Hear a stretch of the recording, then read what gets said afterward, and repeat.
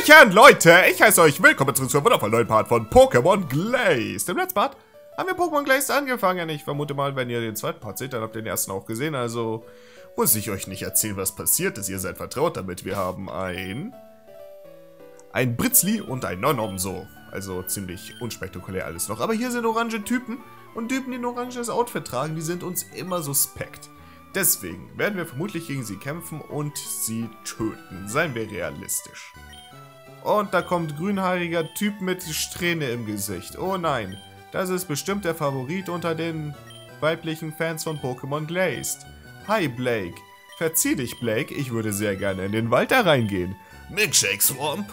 Alter, erzähl mir doch einmal was von einem Milkshake und ich schlürf deine Gehirnmasse raus. Apropos Gehirnmasse rausschlürfen. Ihr kennt auch sicher das Pokémon Magnetilo, beziehungsweise Magneton. Viele sind ja natürlich der Meinung, dass man es, das ist übrigens Überlebenstipp für den verdammten Pokémon-Krieg, den es übrigens wirklich gab und geben wird, Magnetilo und Magneton. Viele sind der Meinung, dass man diese Pokémon nicht essen kann, weil es aus Metall und Elektrizität besteht. Ist an sich korrekt. Das heißt, bis auf die Tatsache, dass Magnetilo und Magneton im Grunde mehr so, wie soll ich sagen, Androiden sind. Nicht Androiden, sondern keine Ahnung, was der Begriff dafür ist. Also sie sind zum Teil Mensch, was heißt Mensch? Nein, sie sind zum Teil Pokémon und zum Teil Maschine. Das bedeutet, da schlägt ein lebendes, organisches Gehirn da drin. Das wiederum bedeutet, ihr braucht nur eine Bohrmaschine, im Notfall geht natürlich auch ein Rizeros, da bohrt ihr euch dann durch die harte Metallschale, dann nehmt ihr einen Strohhalm, im Idealfall nehmt ihr dafür natürlich den Schnabel eines Dotri, der ist schon schmal, den als Strohhalm funktioniert auf jeden Fall. Sollt ihr aber vorher sauber machen, Dotris, die, die picken immer ganz gerne im Code herum. Ich habe picken gesagt mit P übrigens. So, genau, und dann nehmt ihr diesen Strohhalm, dann steckt ihr den in das Magnetilo oder Magneton rein und dann zieht euch die Gernmasse rein. Und sollte man das machen, Gernmasse hat jede Menge Eiweiß und Vitamin G wie Gehirn und das ist gut für euer äh, Leber. Dieses, dieser Gehirnshake. Deswegen solltet ihr ihn auf jeden Fall trinken. In manchen Regionen, zum Beispiel der Höhenregion, wird der natürlich auch verwendet, wenn man einen Kater hat am nächsten Tag, weil man eventuell zu viel von dem süßen, süßen Sonnenflora-Nektar, Moment, es war Sonnenflora-Blumenöl, gib mir noch einen Versuch mehr, zu viel von dem süßen, süßen Saft aus Azurils Schweif gekostet hat. Dann hat man den Kater. Ja, und da gibt man in der Höhenregion zum Beispiel den Leuten dann ein bisschen des süßen, süßen Magnetilo-Hirnshakes, damit sie sich davon möglichst schnell erholen können. Und ich würde sagen, das ist eine gute Sache. Im Sommer, wenn's, wenn es schön kühl ist, habe ich nichts dagegen, gibt nichts Besseres.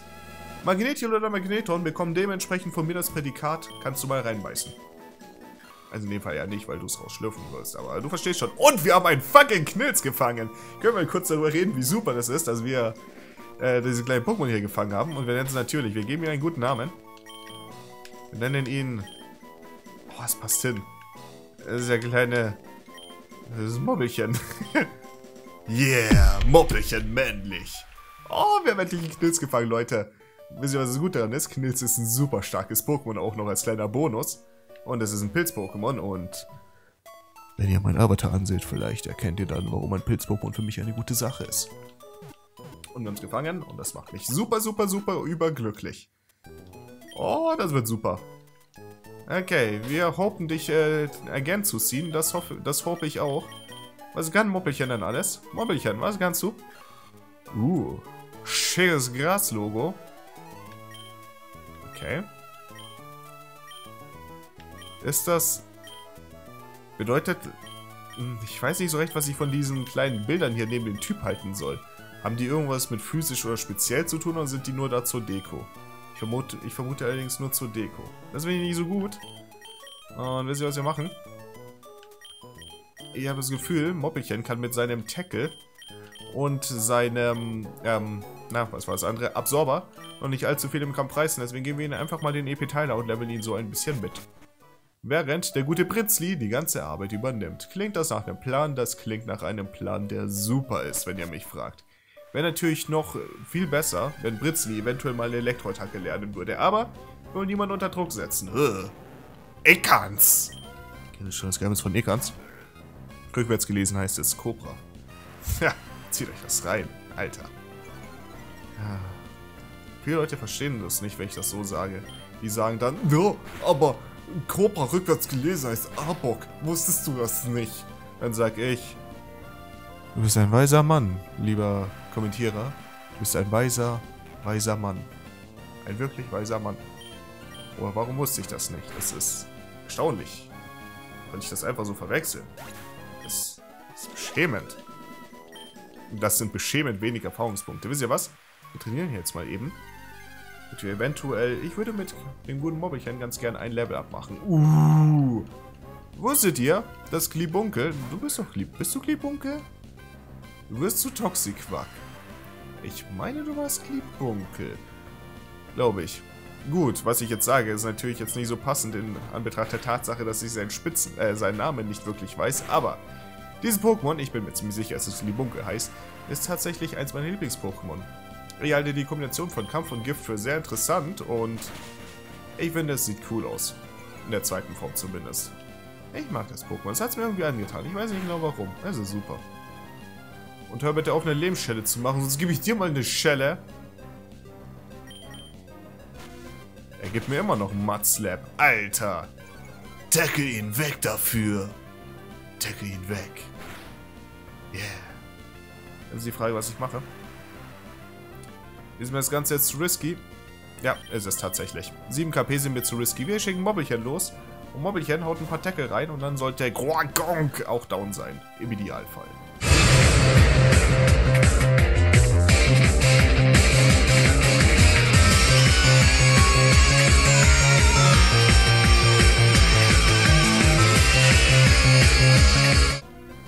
Es macht die ganze Zeit denselben Angriff. Hör doch auf.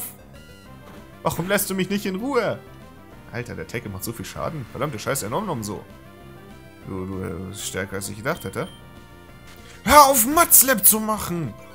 Und warum kann ich mir keine Heilung kaufen? Und warum ist dieser Kampf so dumm und langwierig und kacke und... Ah, okay. Nom nom so. Verdammte Scheiße!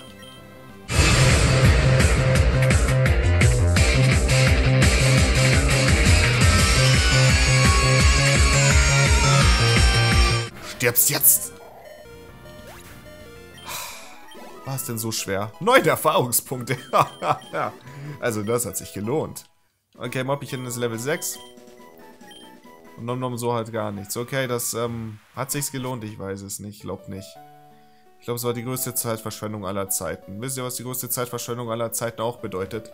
Die bedeutet, wir werden einfach weitergehen und einfach so tun, als ob dieser Kampf nie passiert wäre. Uh, das war, das war, das war beängstigend. Wir reden einfach nie wieder darüber, okay? Wenn wir einfach so tun, als wäre es nie passiert, dann ist es auch nie passiert. Ihr wisst ja, aus den Augen, aus dem Sinn. Und ich kann diesen Kampf hier weit und breit nirgendwo sehen. Dementsprechend kann ich mich auch nicht mehr dran erinnern. Ein Pokémon-Kampf? Ich halte dich für einen Lügner, ich weiß nicht, wovon du sprichst.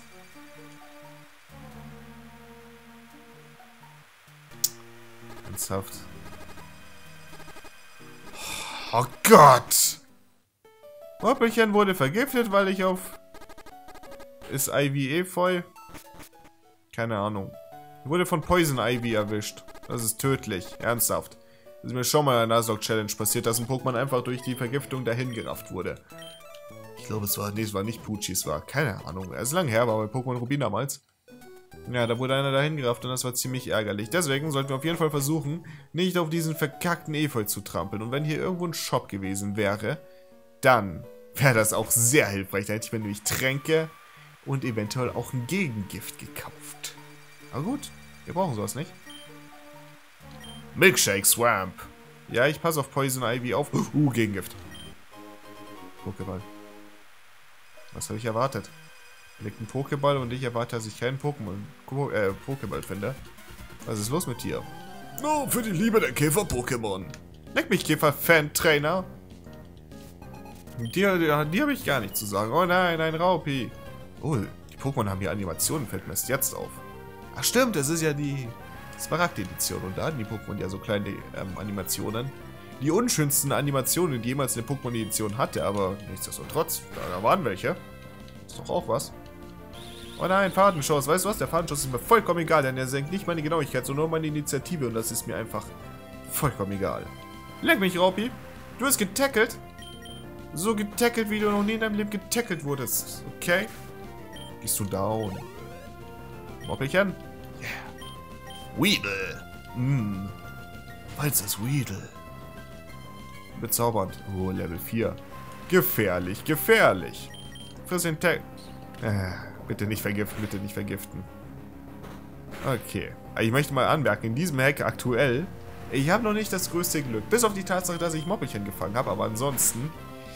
Uh, ich habe nicht so großes Glück. Deswegen bin ich sehr froh, dass ich nicht vergiftet wurde, um den Satz zu vollenden.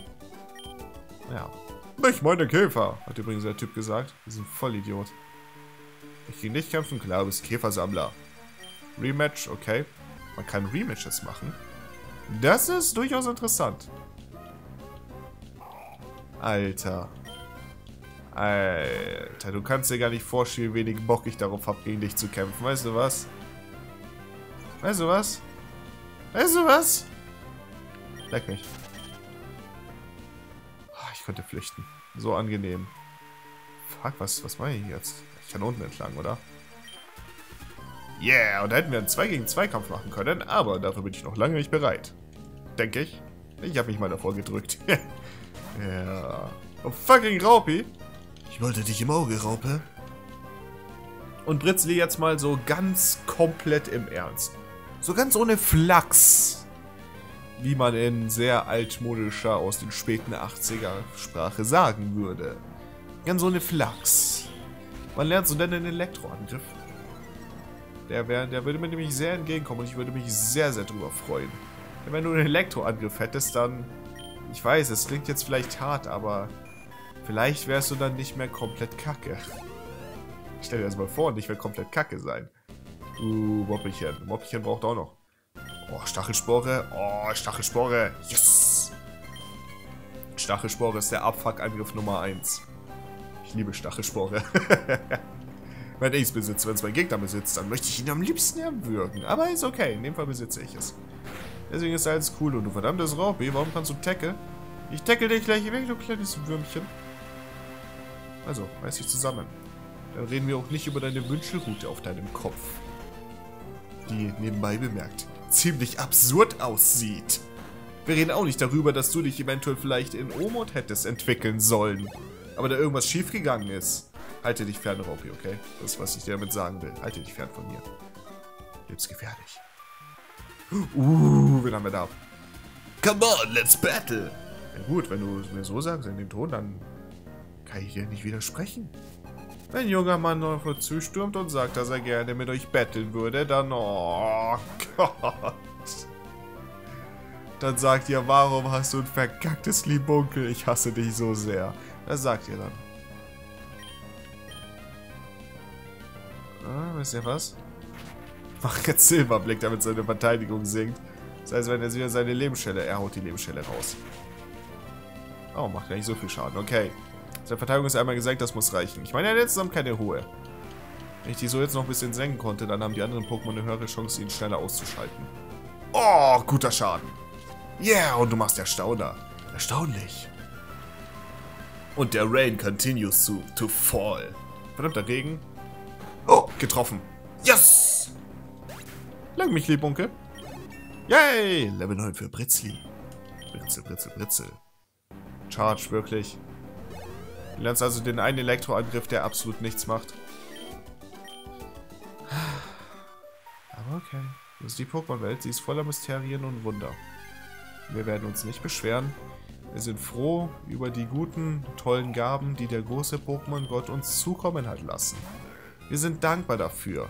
Genauso wie für dieses verdammte Glibunkel. Gehen wir nicht auf den Sack. Weißt du was?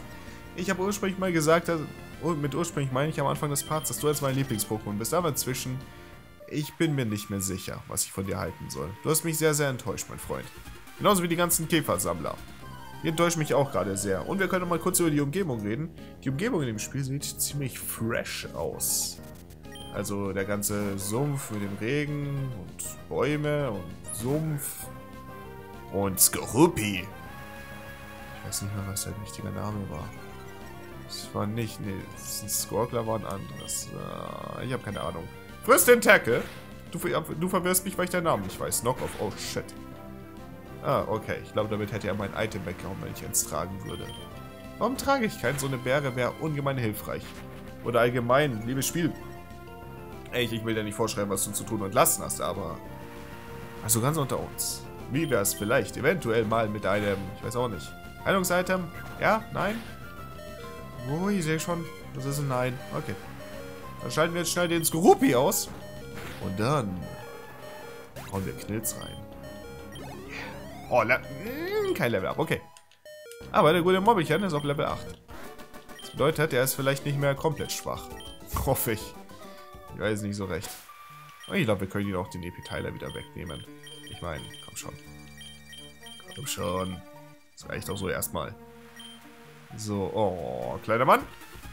Ich habe gehört, du willst gegen mich kämpfen. The Swamp is awesome. Ja, das ist ein, das ist ein super Sumpf. Ich bin auch begeistert. Oh, Pichu. Los, Moppelchen, Moppelchen.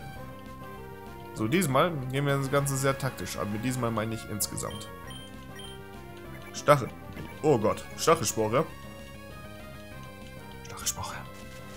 Yeah! Kugeln der Lähmung mögen dich ganz tief auf deiner Stirn treffen, Pichu. Das war gut. Und Absorber. Absorber ist super. Oder? Ist Absorber super?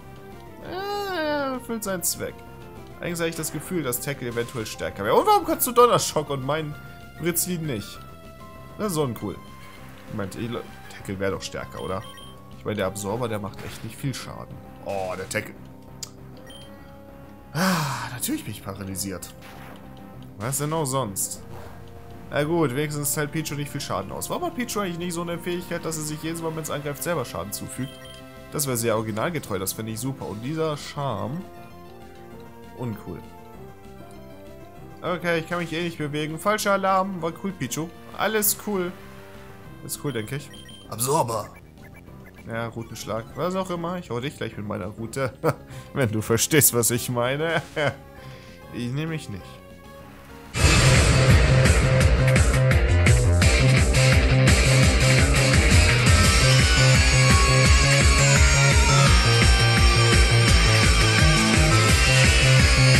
wir werden jetzt dann auch mal aus dem Wald rauskommen, weil wenn wir aus dem Wald nicht rauskommen, dann habe ich ein Problem. Ich müssen. Ist das gerade wirklich passiert?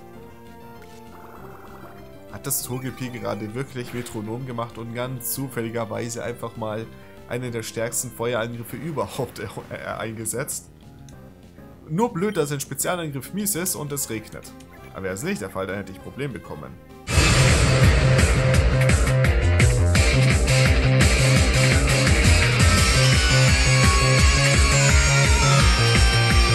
Und ich kann es einfach nicht beenden. Ich kann einfach nichts dagegen machen. Weil dieser Kacktrainer auch noch drei Pokémon haben musste. Die verdammt schwach sind, aber mein Moppelchen ist noch schwächer. Deswegen ist es ja absolut kein Problem. Damit können sie die Pokémon noch in die Jahre ziehen. Ah, oh, Level 10. Egelsamen, endlich! Okay, so eine, zu so einer Situation würde es jetzt nicht nochmal kommen. Der Egelsamen hätte alles kurz oder lang geklärt. So geht die Scheiße jetzt hier noch weiter.